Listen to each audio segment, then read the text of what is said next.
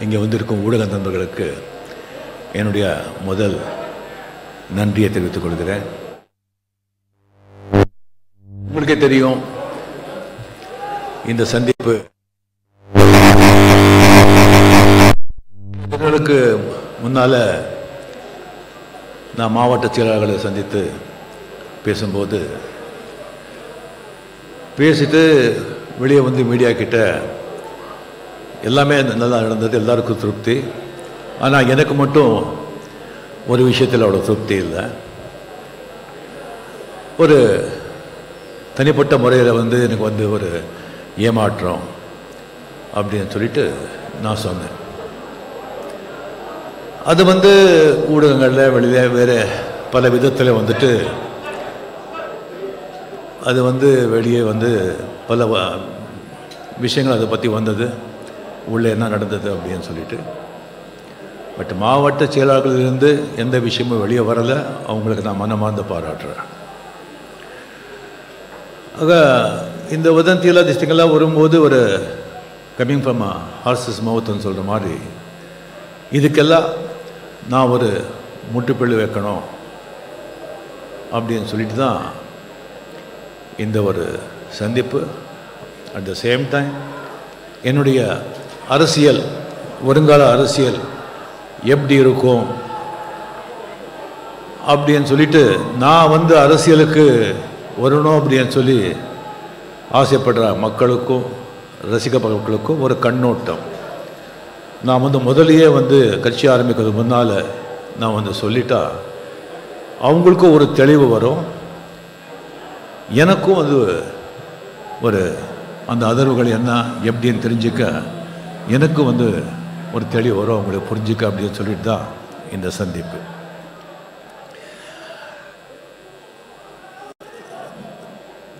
ஆயிரத்தி தொள்ளாயிரத்தி தொண்ணூத்தாறிலிருந்து இருபத்தஞ்சு வருஷமாக ரஜினிகாந்த் அரசியலுக்கு வர்ற அரசியலுக்கு வர்ற அப்படின்னு சொல்லிக்கிட்டே இருக்காங்க. நான் முதல்ல வந்து அரசியலுக்கு வர்றேன்னு சொன்னது two thousand seventeen December thirty first அன்றைக்கி தான் நான் சொன்னது அதுக்கு முன்னாலே நான் அரசியலுக்கு வர்றேன் அப்படின்னு சொன்னதே கிடையாது. எப்போ நீங்கள் அரசியல் வருவீங்கன்னு கேட்டால் தான் அது ஆண்டவன் கையில் தான் இருக்குது அப்படின்னு சொல்லிக்கிட்டு தான் நான் வந்தேன். இனிமையாவது தயவு செஞ்சால் இருபத்தஞ்சி வருஷம் அவர் அரசியலுக்கு வர்றாரு வர்றாரு அப்படின்னு சொல்லிகிட்டே இருக்காருன்னு சொல்லி தயவு செஞ்சு யாருமே சொல்ல சொல்ல மாட்டாங்க அப்படின்னு நான் நினைக்கிறேன். ஸோ அந்த நைன்டி சிக்ஸில் என்னுடைய எதிர்பார்க்காத விதமாக அரசியல் வந்து என் பேர் ஈடுபட்டு அதில் வந்து என்னுடைய ஒரு பாத்திரம் அதில் வந்து என்னுடைய ரோல் அதில் வந்து இது பண்ணி வந்து வந்த பிறகு அப்போ வந்து என்னுடைய நட்பு மதிப்புக்குரிய பெரியவர் கலைஞர் நான் மிகவும் போற்றிய போற்றும் டாக்டர் கலைஞர் அவர்கள் மூப்பனார் அவர்கள் என்னுடைய அருமை நண்பர் சோ சார் அவர்கள் அவர்கிட்ட அவர் கூட எல்லாமே நான் வந்து பேசி பழகினதில் வந்து ஒருவேளை நான் வந்து அரசியலுக்கு வந்தா அப்படி வந்து அரசியலுக்கு வர மாதிரி என் தலையில் வந்து எழுதியிருந்தா நான் எந்த மாதிரி ஒரு அரசியல் திட்டத்தை கொண்டு ஜனங்க முன்னாலே போகணும் அப்படின்னு சொல்லிட்டு அப்போலேருந்து நான் வந்து அரசியலை வந்து தீவிரமாக நான் கவனிக்க ஆரம்பித்தேன் இதுக்கப்புறம் நான் வந்து அரசியலுக்கு வந்து அந்த மாதிரி எழுதியிருந்தேன் நான் வந்து எப்படி நான் அரசியல் பண்ணணும் அப்படின்னு நினச்சிட்டு இருக்கும்போது தான் டூ தௌசண்ட் செவன்டீனில் வந்து சிக்ஸ்டீனில் ஜெயலலிதா மேடம் அவங்க வந்து இறந்து டூ தௌசண்ட் செவன்டீனில் வந்து கம்ப்ளீட்லி ஒரு அரசியல் ஸ்திரத்தன்மை இல்லாமல் ஜஸ்ட் இருந்து எப்போ வந்து ஆட்சி விழுந்துருமோ அப்படிங்கிற ஒரு சூழ்நிலை இருக்கும்போது என்னை வாழ வைத்த தெய்வங்களுக்காக நான் வந்து ஒரு முடிவு எடுக்கணும் அப்படின்னு சொல்லி நான் அரசியலுக்கு நான் வர்றேன் அப்படின்னு சொல்லி நான் முதல் முதல்ல நான் சொன்னேன். அப்போ சொல்லும்போதே நான் சொன்னேன்? சிஸ்டம் கெட்டு போயிருக்கு. சிஸ்டமே சரி செய்யணும். அண்ட் ஜனங்க மனதில் ஜனங்க மனதில் முதல்ல வந்து மாற்றத்தை உண்டாக்கணும். அந்த மாற்றத்தை ஜனங்க மனதில் உண்டாக்கணும் அது கொண்டு வரணும். சிஸ்டம் சரி செய்யணும் அப்படின்னு. சிஸ்டம் சரி செய்யாமல் அரசியல் மாற்றம் செய்யாமல் ஆட்சி மாற்றம் நடந்தால் மீன் குழம்பு வச்ச பாத்திரத்தை அந்த பாத்திரம் கழுவாமல் சர்க்கரை பொங்கல் வச்சா எப்படி இருக்கும்? அந்த மாதிரி தான் இருக்கும் அந்த ஆட்சி. அதுக்காக முதல்ல வந்து அரசியல் மாற்றம் கொண்டு வரணும்.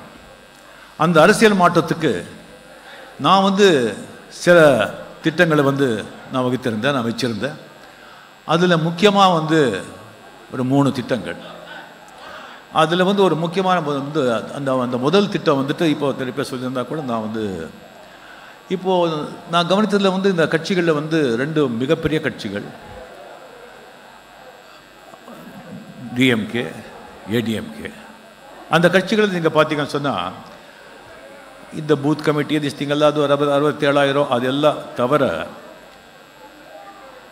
ஐம்பதாயிரத்துக்கு மேலே கிட்டத்தட்ட அறுபதாயிரம் ஐம்பதாயிரத்துக்கு மேலே வந்து கட்சி பதவிங்க இருக்குது அது வந்துட்டு தேர்தல் நேரத்தில் தேவை. அந்த ஓட்டு வரும். அவங்க உறுப்பினர் அவங்க அவங்க அவங்க அவங்க ஃபேமிலி அவங்க ஃப்ரெண்ட்ஸு அதெல்லாம் வந்து தேட்டு வரும் ஒரு ஓட்டு வரும். அட் த சேம் டைம் தேர்தல் நேரத்தில் அவங்க வந்து உழைப்பாங்க தேர்தல் நேரத்தில் தேவை. தேர்தல் முடிஞ்ச பிறகு அது தேவையில்லை. அந்த அவ்வளோ வந்து அவ்வளோ வந்து அந்த பதவிகள் தேவையில்லை. அத்தனை பதவிகள் தேவையில்லை. ஸோ அவங்க வந்து ஜெயிச்சு ஆட்சிக்கு வந்துட்டு என்ன பண்ணுவாங்கன்னா நம்ம ஆளுங்கட்சி ஆளுங்க அப்படின்னு சொல்லிட்டு கம்ப்ளீட்லி டெண்டர்லேருந்து ஒரு கான்ட்ராக்ட் எடுக்கிறதுலேருந்து எல்லா விதத்துலேயும் வந்து ஊழல் நடக்கும் தப்பு நடக்கும். ஜனங்கிட்ட வந்து கரெக்டாக அந்த பணம் போகாமல் அவங்க வந்து தடுத்துறாங்க பல பேர் நான் எல்லாரும் சொல்கிறேன் பல பேர். அது வந்து ஆட்சிக்கும் அது வந்து கெட்டது. மக்களுக்கும் ரொம்ப கெட்டது கட்சிக்கும் கெட்டது. ஸோ அது சில பேர் வந்து அந்த கட்சி பதவிகளை தொழிலாகவே வச்சுருக்காங்க. வேறு தொழில் இல்லை. அதுதான் தொழில். ஆக நாம் வந்து ஆட்சிக்கு வந்தால் தேர்தல் நேரத்தில் வந்து எவ்வளோ பதவிகள் தேவையோ அவ்வளோ வந்து தேவை. அவ்வளோ பதவி வச்சுக்கிட்டு தேர்தல் முடிஞ்ச உடனே அத்தியாவசியமான கட்சி நடத்துறதுக்கு என்ன பதவியோ அதை மட்டும் நம்ம வச்சுக்கிறது. இப்போ வந்து நம்ம வந்து வீட்டில் வந்து கல்யாணம் செய்கிறோம் ஒரு பண்டிகை செய்கிறோம் ஒரு வந்து ஒரு விழா பண்ணுறோம். அப்போ நமக்கு நிறைய சமையல்காரங்க தேவை வேலைக்காரங்க தேவை டைவர்ஸுங்க தேவை நிறைய பேருங்க தேவை. அந்த விழா அந்த பண்டிகை அந்த கல்யாணம் முடிஞ்ச பிறகு அதே ஆளுங்களை அந்த வேலைக்காரங்க அவங்கள சமையல்காரங்க அவங்கள நம்ம வச்சு தான் இருப்போம். கிடையாது. அவங்க அனுப்பிச்சிடுறோமே. அதுக்காக இந்த வந்து இந்த பதவியில் இருக்கிறவங்க எல்லாம் வேலைக்காரங்க சமையல்காரங்க அப்படி சொல்லி நினச்சிடாதீங்க. ஸோ அதுக்கப்புறம் தேவை கிடையாது. ஸோ எவ்வளோ வேணுமோ அவ்வளோ தான் நம்ம வச்சுக்க போகிறோம் அதுதான் வந்து நான் வந்து முதல்ல வந்து அரசியலில் வந்து ஒரு மாற்றத்தை கொண்டு வரணும்னு சொல்லி நான் வந்து திட்டம் போட்டது. ரெண்டாவது இப்போ நீங்கள் சட்டமன்றத்தில் பார்த்தீங்கன்னு சொன்னால் எல்லா ஐம்பது ஐம்பத்தஞ்சு அறுபது அறுபத்தஞ்சு ப்ளஸ் தான். ஐம்பது கீழே நாற்பத்தஞ்சு நாற்பது எல்லாம் வந்து விரல் விட்டு எண்ணிடலாம். அது பார்த்தீங்கன்னா வர்றவங்களே வர்றாங்க மாற்றிட்டே இருக்காங்க. புதியவங்க கிடையாது. புதியவங்க நல்லவங்க வந்து அரசியலுக்கு வர மாட்டாங்க சாக்கடின்னு சொல்லி ஒதுங்கி இருக்காங்க அவ்வளோ ஈஸியாக வர முடியாது. இளைஞருங்க வந்து வந்து அவ்வளோ ஈஸியாக பதவி கிடைக்காது. அப்படி பதவி கிடைக்கணும்னு சொன்னால் அவன் எம்எல்ஏ பையனாக இருக்கணும். இல்லைன்னா எம்பி பையனாக இருக்கணும். இல்லைன்னா ஒரு கோட்டாரிச்சோன் பையனாக இருக்கணும். அப்போ தான் கிடைக்கும். ஆக நான் வந்து என்னுடைய கட்சியில் வந்து அறுபதுலேருந்து அறுபத்தஞ்சு பர்சன்ட் ஐம்பது வயசு கீழே இருக்கிறவங்க ஓரளவுக்கு படிச்சிருக்கிறவங்க அவங்க செய்கிற வேலையில் வந்து ஒரு நல்ல பேர் பெற்றவங்க. அவங்க தொகுதியில் அவங்க வாழ்கிற இடத்துல நல்ல கம்பீரமான கண்ணியமான பேர் பெற்றவங்க. அந்த மாதிரி ஆட்களை நான் வந்து சீட் கொடுக்குறேன். வேறு முப்பத்தஞ்சு நாற்பது பர்சன்ட் வந்துட்டு வேறு கட்சிகளிலும் நல்லவங்க இருக்காங்க. நல்லவங்க இருக்காங்க. அவங்க வாய்ப்பு கிடைக்கல. வாய்ப்பு அவன் நல்ல வந்து வாய்ப்பு கிடைச்சா அவன் மட்டும் நல்லது பண்ணிட்டா மற்றவங்க விடுவாங்களா? நீ மட்டும் ரொம்ப நல்லவனா? அப்படின்னு விட மாட்டாங்க. அந்த மாதிரி நிறைய பேர் இருக்காங்க. அந்த மாதிரி நம்ம கட்சிக்கு வந்து சேர்ற விரும்புகிறவங்க நல்ல ரெப்புடேஷன் இருக்கிறவங்க அந்த மாதிரி ஆட்களுங்க உள்ளே சேர்த்து. அதுக்கப்புறம் வந்து முப்பத்தஞ்சு நாற்பது பர்சன்ட் வந்துட்டு அந்த அந்த மாதிரி ஆட்கள்.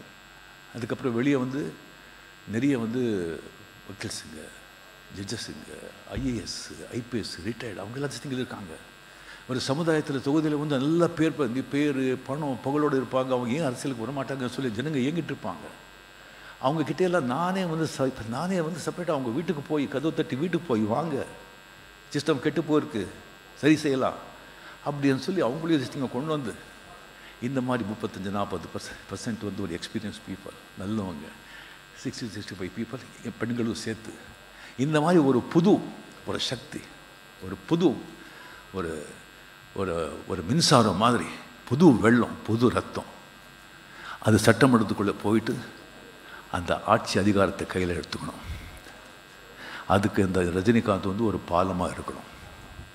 நான் நாற்பத்தஞ்சு வருஷம் இந்த சினிமா இண்டஸ்ட்ரியில் வந்து நான் உழைச்சதில் வந்து கிடைச்ச பேர் புகழ் ஒரு நல்ல ஐ மீன் அன்பு ஒரு நல்ல நம்பிக்கை. இதுக்கு உதவும் அப்படின்னு சொல்லி நான் நம்புகிறேன் மூணாவது ரொம்ப முக்கியமானது.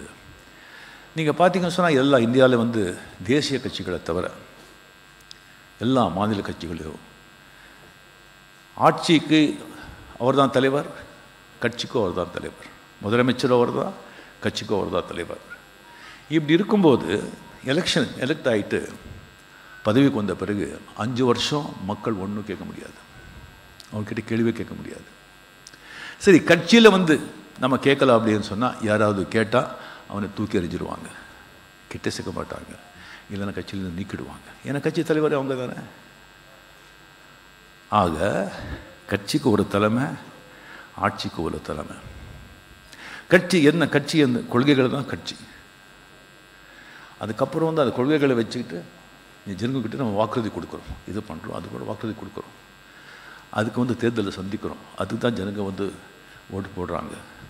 ஸோ அந்த வாக்குறுதிகளை நிறைவேற்றணும் அண்ட் எல்லா துறையில் இருக்கிற அனுபவம் உள்ள வல்லுநர்களை வச்சு ஒரு குழு உருவாக்கி கவுன்சில் ஆஃப் எக்ஸ்பர்ட்ஸ் அதில் வந்து கட்சி தலைவனை அதுக்கு தலைவனாக இருந்து இந்த வாக்குறுதி கொடுத்த வாக்குறுதிகள் இந்த குழு வந்து பரிந்துரை செய்கிறத வந்து செயல்படுத்தணும். செயல்படுத்தணும். அதுதான் ஆட்சியில் இருக்கவங்க வேலை. ஆக்சுவலாக பார்த்தீங்கன்னா அது ஒரு சிஇஓ போஸ்ட் அது.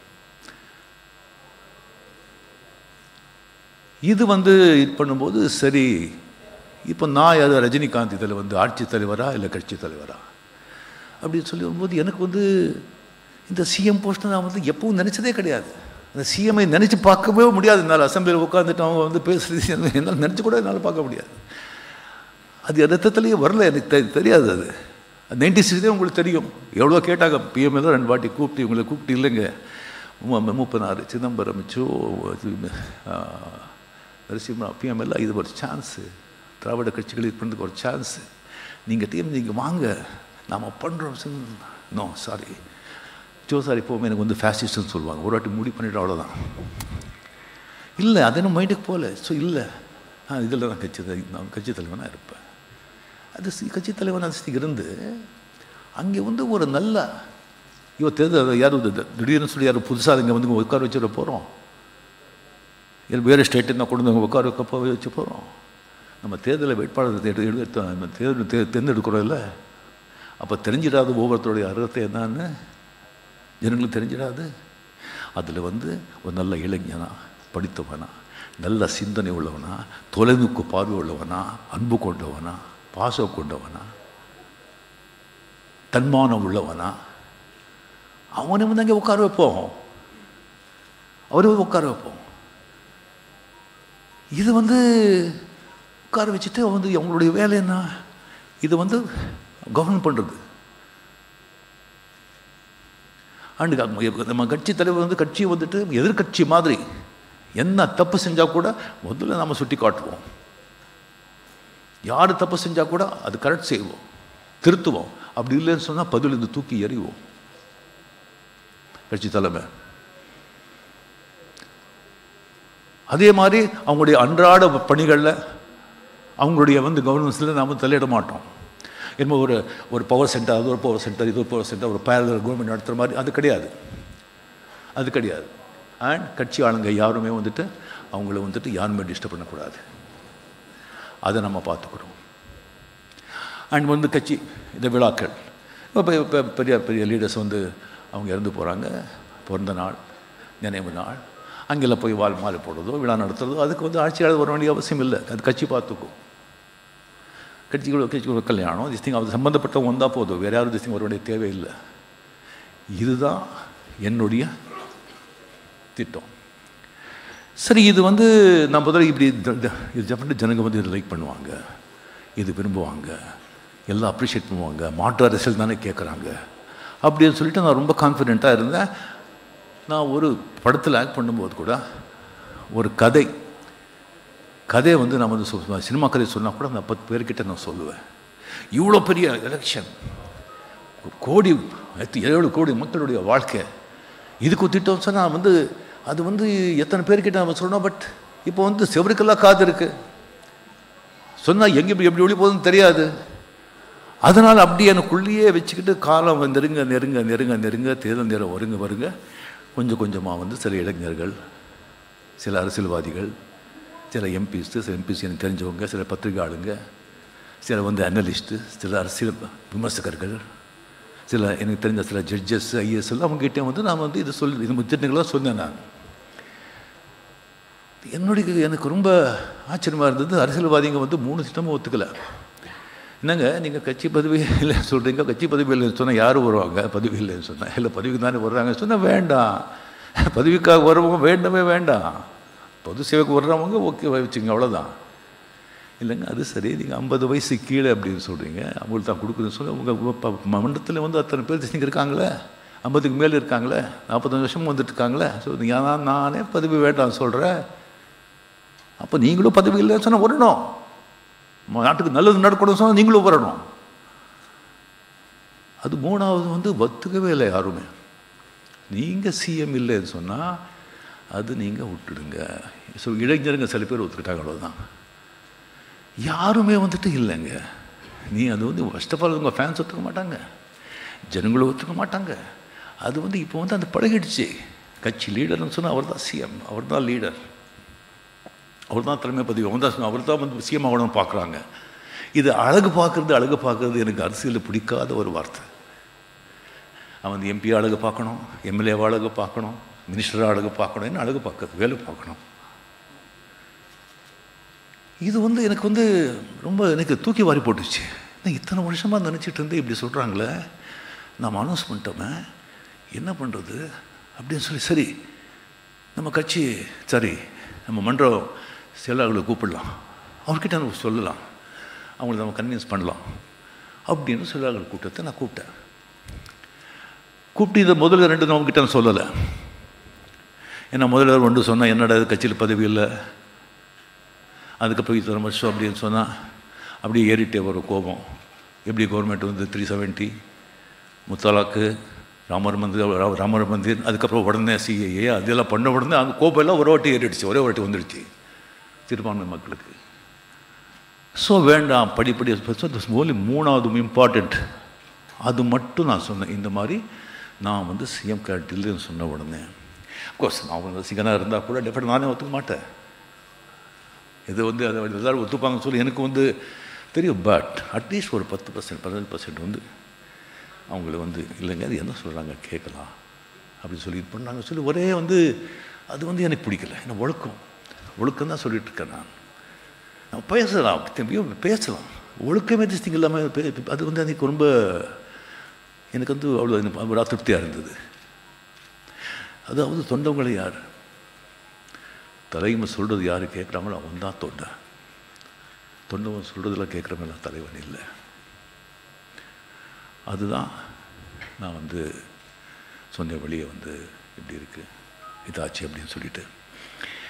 இப்போது நான் வந்து என்னமோ இந்த முதலமைச்சர் பதவி வேண்டாங்கிறது ஏதோ ஒரு கம்ப்ளீட்டாக ஏதோ பேர் தியாகம் பண்ணுற மாதிரி பெரிய தியாகி மாதிரி. இது ஒரு பொலிட்டிக்கல் ஸ்டென்ட்டு அப்படி பண்ணாங்க சில பேர் நினைக்கலாம். நான் இப்போ சொல்கிறது இல்லைங்க. Two thousand seventeen thirty first December அன்றைக்கே நான் வந்து சொல்லியிருக்கேன். அது கொஞ்சம் போடுங்க. இந்த டிப்ஸ் போடுங்க.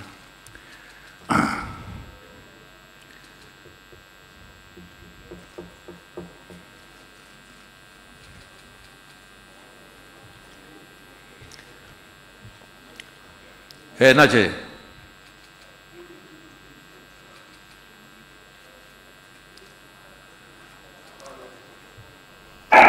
நான் அரசியலுக்கு பணத்துக்கோ பேருக்கோ புகழுக்கோ நான் வருவது கிடையாது. அது நீங்க வந்து நான் கனவுல கூட நடத்தாத அளவுக்கு ஆயிரம் மடங்கு கொடுத்துட்டீங்க.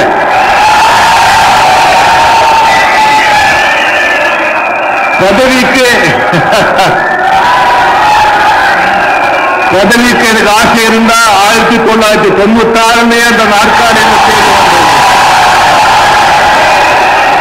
அது வேண்டான்னு தள்ளி வச்சேன்.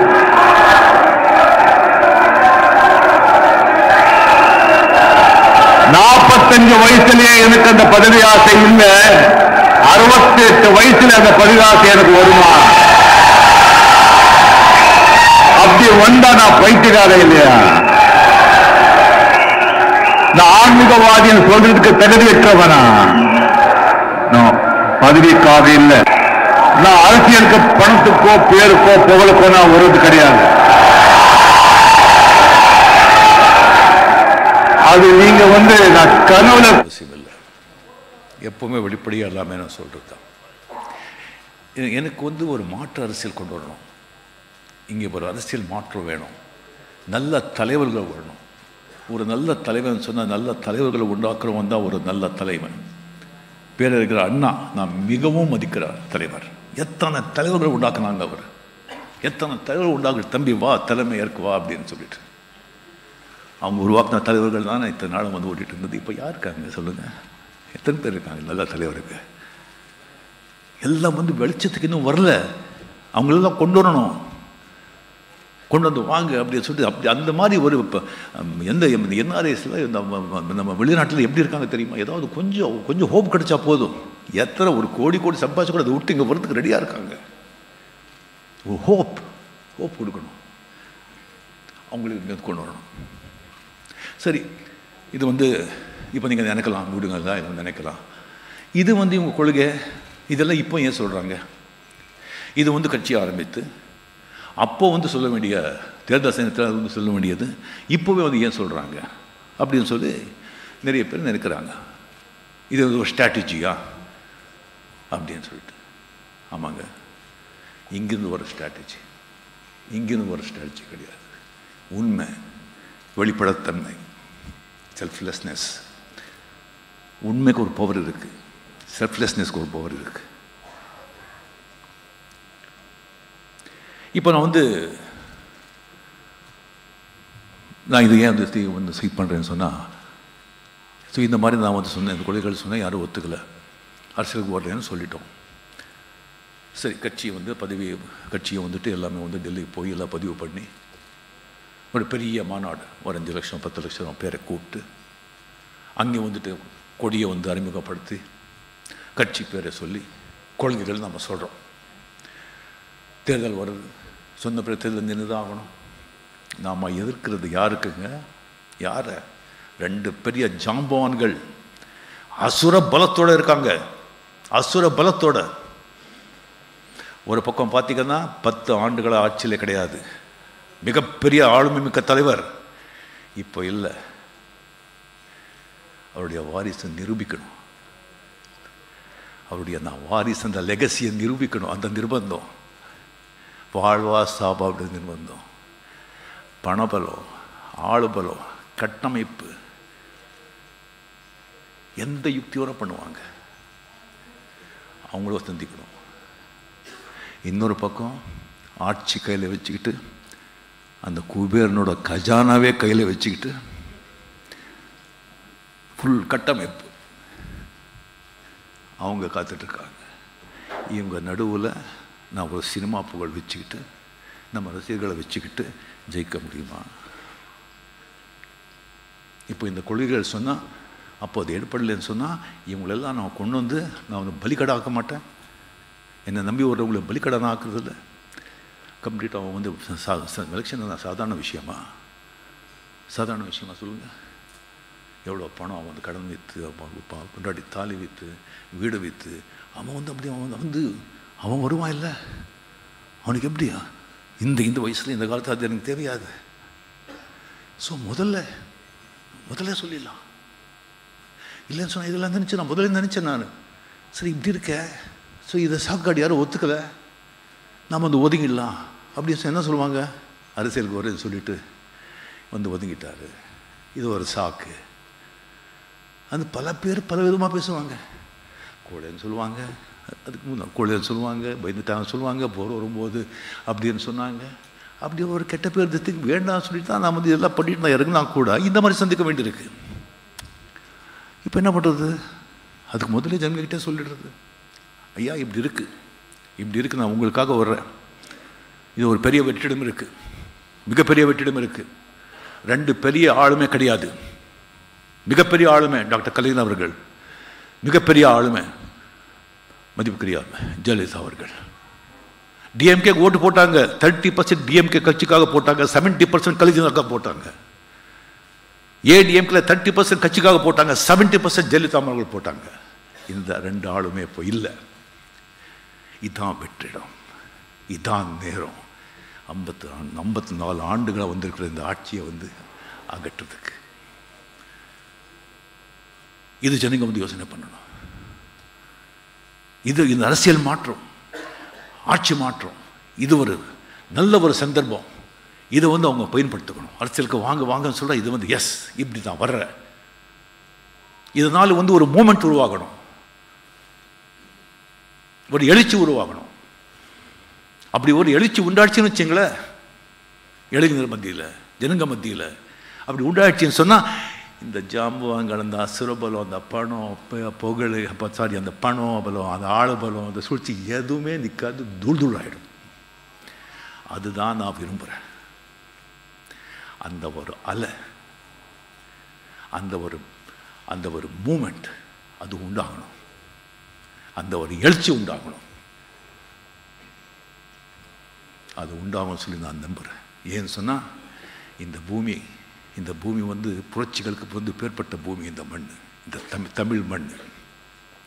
காந்தியடிகள் இங்கே வந்து தான் இந்த மண்ணில் தான் போட்ட உடையை தூக்கி போட்டு ரெண்டு உடை இடுப்பு கீழே ஒரு உடை மேலே ஒரு உடை போட்டு இங்கே வந்து முடிவெடுத்தார் மண் இது. விவேகானந்தர் அமெரிக்கானந்தர் வந்து இந்த மண்ணில் தான் நூறு இளைஞர்கள் கொடுங்க நான் இந்தியாவை தலையெழுத்த மாத்திரைன்னு சொல்லி கர்ஜித்த பூமி இது. இந்தியாவில் வந்து எல்லா அறுபதுகளில் வந்து எல்லா மாநிலங்களையும் காங்கிரஸ் ஆட்சி இருக்கும்போது இங்கே தான் ஒரு மாநில கட்சி மாநிலத்தில் ஆட்சி புரிஞ்ச மண் இது. அறுபது ஏழில் வந்து புரட்சி நடந்தது. அந்த புரட்சி மறுபடியும் நடக்க நடக்கணும். ரெண்டாயிரத்தி இருபத்தி ஒன்றில் மக்கள் அதை செஞ்சு காட்டணும் அது. அவங்க நல்லா இருக்கிறதுக்கு அவங்க சந்ததி நல்லா இருக்கிறது வருங்கால சந்ததி நல்லா இருக்கிறதுக்கு அவங்க மக்கள் நல்லா இருக்கிறதுக்கு. ஒரு அதிசயம் அற்புதம் நடக்கும்னு சொன்ன மக்கள் நிகழ்த்துவாங்க. அதுக்கு வந்து நீங்கள் பத்திரிகையாளங்க முதல்ல வந்து நீங்கள் ஒருத்துணையாக இருக்கணும். நீங்கள் படித்தவங்க படித்தவங்க இதை எடுத்து சொல்லணும் மாமனர்கிட்ட. கீழே போனால் ஐம்பது பர்சன்ட் லேடிஸுங்க டுவெண்ட்டி பர்சன்ட் தான் தெரியுங்க அவங்க ஓட்டு சுத சுயமாக ஓட்டு போடுறது. முப்பது பர்சன்ட் உங்களுக்கு தெரியாதுங்க. யார் உங்களுக்கு போடணுமாப்பா? இவங்களுக்கு போடணுமாப்பான்னு போடுறாங்க. அந்த மாதிரி அறிவு இல்லாமல் இருக்காங்க. அதெல்லாம் தான் சொன்ன மக்கள் மனதை மாற்றணும் தான் சொன்னது. அது பத்துக்கள் அறிவுஜீவிகள் நீங்கள்லாம் வரணும் சொல்லணும் தயவு செஞ்சு. இது ரஜினிக்காக நீங்கள் செய்கிறது இல்லை தமிழ்நாட்டுக்காக தமிழ் மக்களுக்காக இந்த பொறிச்சு அரிசி பிடிச்சி வெடிக்கணும். நான் ஒரு துரும்பு தான். இது நடக்கலன்னு வச்சிங்களேன். சும்மா நானும் ஒரு அரசு இருக்கு. பதினஞ்சு பர்சன்ட் இருபது பர்சன்ட் சும்மா ஓட்டை பெரிய இதுக்கு நான் விடுமா தேவை கிடையாது. ஏன் கே- பேசுறவங்க பேசி தான் போகிறாங்க அதை பற்றி கொலைப்படுறது கிடையாது. அதை பற்றி கொலைப்படுறது அது இன்னொன்று இது ஒரே ஒரு சான்ஸ் தான். நான் என்ன நாற்பத்தி நாலா? ஐம்பது ஐம்பதா? இப்போ விட்டா நெக்ஸ்ட் பிடிக்கலாம் அப்படிங்கிறதுக்கு. எழுபத்தொன்று பொழைச்சி வந்திருக்கேன் உடம்புல ஆயிரம் உடம்புல பேச்செல்லாம் இருக்குது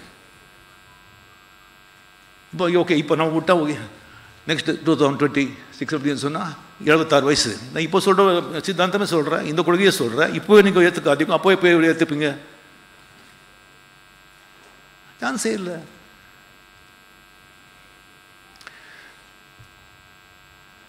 ஸோ ரசிகர்கள் நான் சொல்கிறதுனால இந்த விஷயத்தை வந்து சும்மா சிஎம் சிஎம் அதெல்லாம் வந்து சும்மா வந்து இது பண்ணாமல் மூளை முடுக்க மக்கள்கிட்ட இது போய் சொல்லுங்கள் ஒருங்கால சிஎம் ஒருங்கால முதலமைச்சர் அதெல்லாம் நிறுத்துங்க. மூளை முடுக்க இதுக்கு போய் சொல்லுங்க. நீங்கள் நான் வந்து ஆட்சி கட்சிக்கு வரணும் அப்படின்னு சொல் அரசியலுக்கு வரணும் சொல் அது முதல்ல நீங்கள் செய்யுங்க. எனக்கு தெரியட்டும். அந்த எழுச்சி எனக்கு தெரியட்டும். அப்போ வர வர நான்.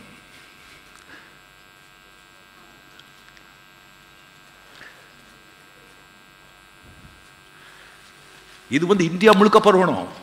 இந்த மண் இந்தியா முழுக்க பரவணும் இது. கட்சியில் வந்து அந்த பதவியெல்லாம் நீக்கணும். இளைஞர்கள் வரணும். புதுசாக இளைஞர்கள் வரணும். நாற்பத்தஞ்சு நாற்பது வயசு இளைஞர்கள் வந்து அதிகாரத்தை கையில் எடுத்துக்கணும். கட்சி வேற ஆட்சி வேறு நடக்கணும் அது. இந்த புரட்சி இந்தியா முழுக்க போகணும் சேர்ந்துடும் அப்படின்னு எதிர்பார்க்குறேன். ஆக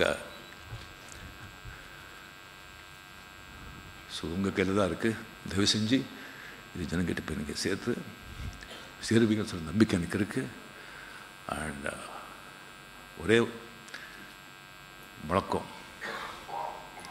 அரசியல் மாற்றம் ஆட்சி மாற்றம். இப்போ இல்லைன்னா எப்பவும் இல்லை. தயவு செஞ்சு நான் வந்து கேள்விங்க இப்போ நான் எடுத்துக்கிறது இல்லை ஏன்னா அதை எடுத்துட்டா வந்து இப்போ நான் சொல்கிற விஷயம் வந்து டெய்லியூட் ஆகிடும் தப்பாக நினச்சிக்க வேண்டாம். ஸோ நீங்கள் வந்து இதெல்லாம் வந்து இது பண்ணதுக்கு நான் மிகமார்ந்த என்னுடைய மனமார்ந்த நன்றியை தெரிவித்துக் கொள்கிறேன். வாழ்க தமிழ் மக்கள் உலக தமிழ்நாடு. ஜெய் ஹிந்த்.